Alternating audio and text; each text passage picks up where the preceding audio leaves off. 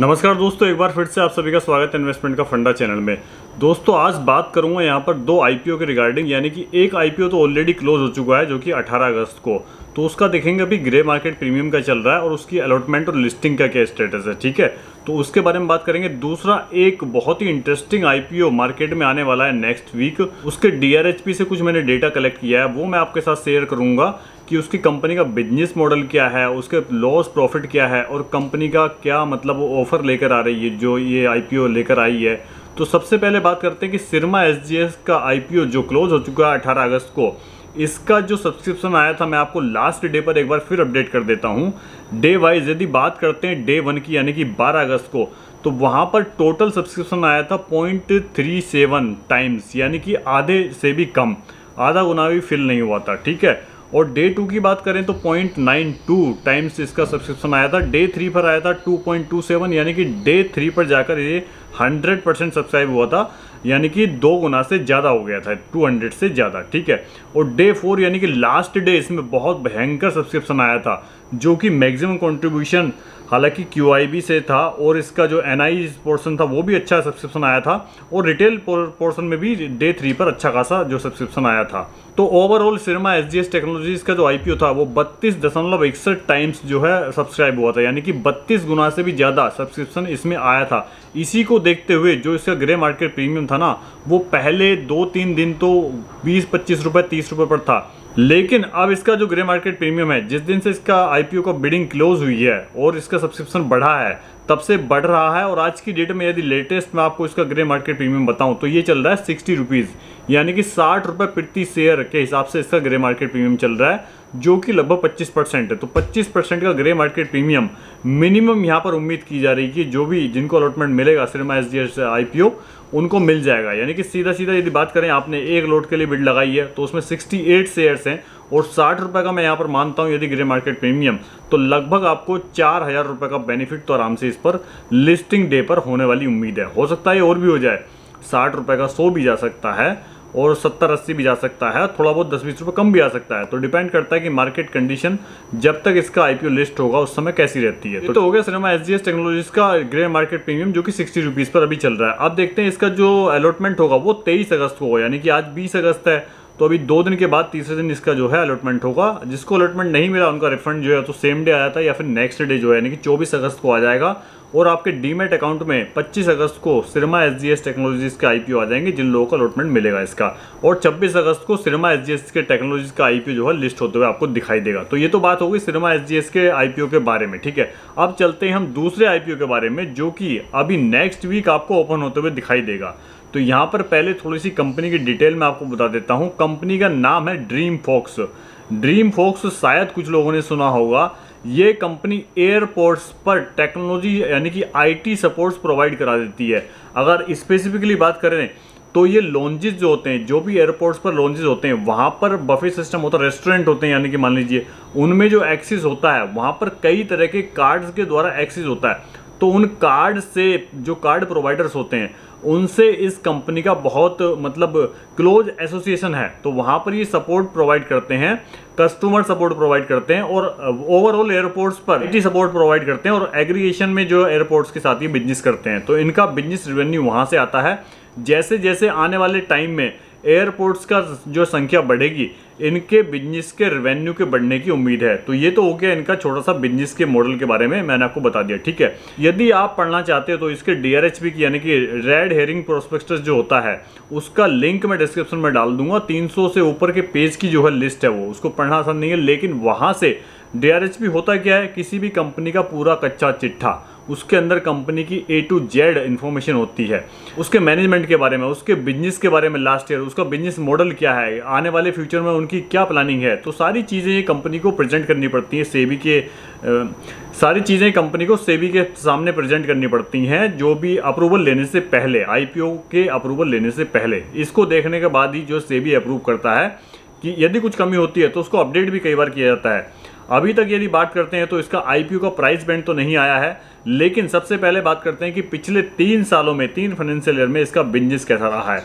यदि बात करते हैं हम 2020 की तो इसमें असेट्स जो थी इसकी, वो थी 137 करोड़ की, यानी कि एक सौ सैंतीस करोड़ की असेट्स थी कंपनी की, जो कि 2021 में घटी हैं 122 करोड़ की, और जी 2022 में दोबारा से गेन हुआ है।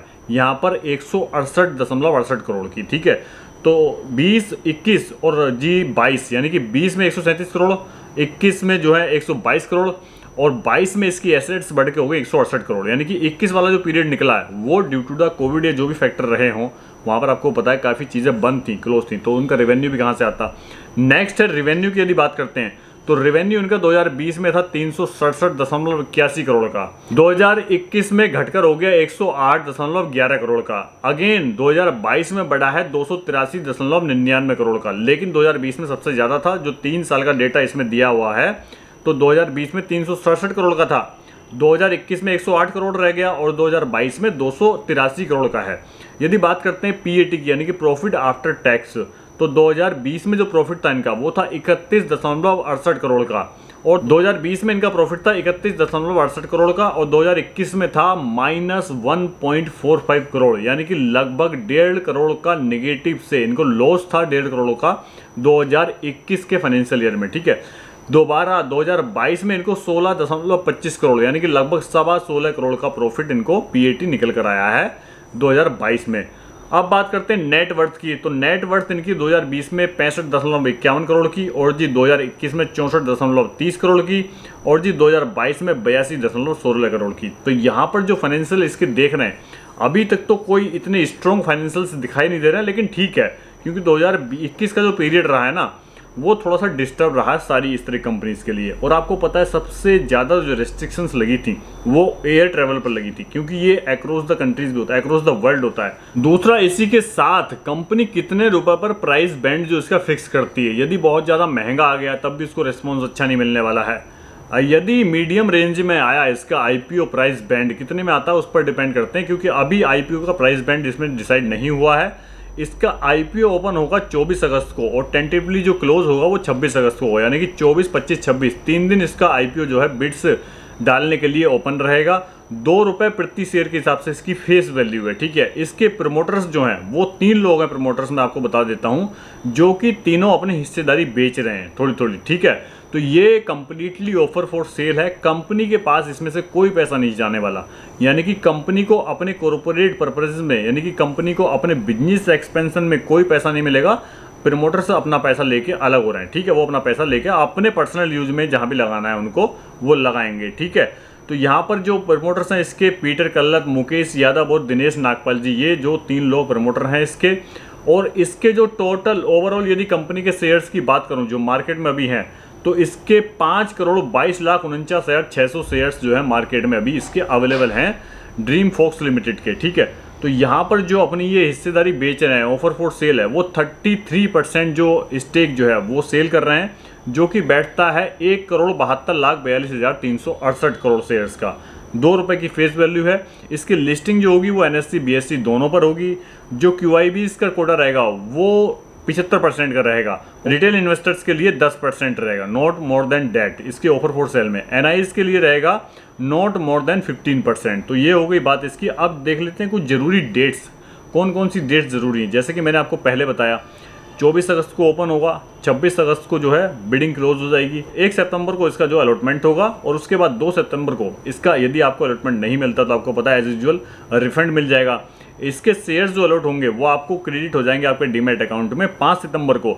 और जी ड्रीम फोक्स सर्विस लिमिटेड का आईपीओ लिस्ट होते हुए दिखाई देगा आपको 6 सितंबर को एक्सचेंजेस पर बीएससी और एनएससी दोनों पर। अभी इसकी जो इशू आने से पहले जो शेयर होल्डिंग है, वो प्रमोटर्स के पास हंड्रेड है। लेकिन जैसे मैंने आपको बताया 33 परसेंट स्टेक जो वो सेल कर रहे हैं तो इसके बाद, जो आईपीओ के बाद शेयर होल्डिंग रह जाएगा वो रह जाएगा 67 परसेंट यानी कि सड़सठ परसेंट की होल्डिंग जो है प्रमोटर्स के पास अभी भी बाकी है, ठीक है? तो ये जानकारी थी दोनों आईपीओ पर। एक तो ऑलरेडी क्लोज हो चुका है, जिसकी लिस्टिंग आपको नेक्स्ट वीक होते हुए दिखाई देगी, और दूसरा आईपीओ नेक्स्ट वीक ओपन होते हुए दिखाई देगा। तो आपको यदि जानकारी पसंद आई है आईपीओ में इन्वेस्टिंग आप करते हो यदि तो कमेंट करके बताइए, यदि आपको आईपीओ से रिलेटेड ज़्यादा वीडियोज़ और चाहिए, वैसे तो मेरा ऑब्जेक्टिव रहता है कि मैं आपको बेसिक रूल्स ऑफ़ इन्वेस्टमेंट यानी कि बेसिक जो आपका फाइनेंशियल सुधारने की चीज़ें होती हैं, जो आपका फाइनेंशियल मैनेजमेंट है, उसको ठीक करने पर मैं वीडियोस बनाता हूँ।